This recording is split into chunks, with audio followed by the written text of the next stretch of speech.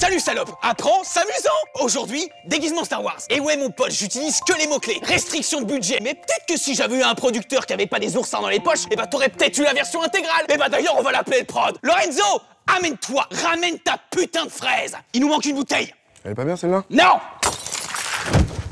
Elle est cassée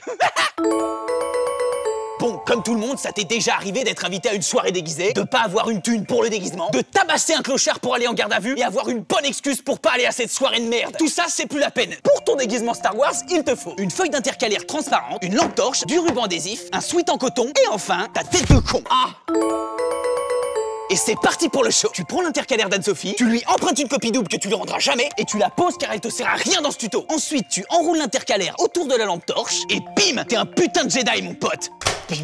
Longue vie et prospérité. Il est mort, Jim.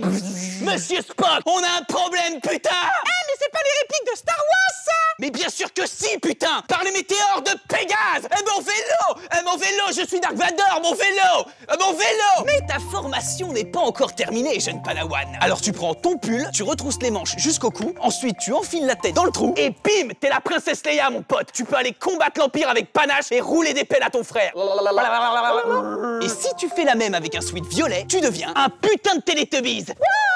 Et si tu fais ça avec un matelas, tu deviens un mec chelou Voilà, terminé ce tuto. Eh, que la force soit avec toi.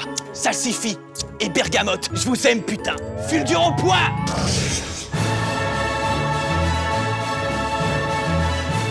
Abonne-toi.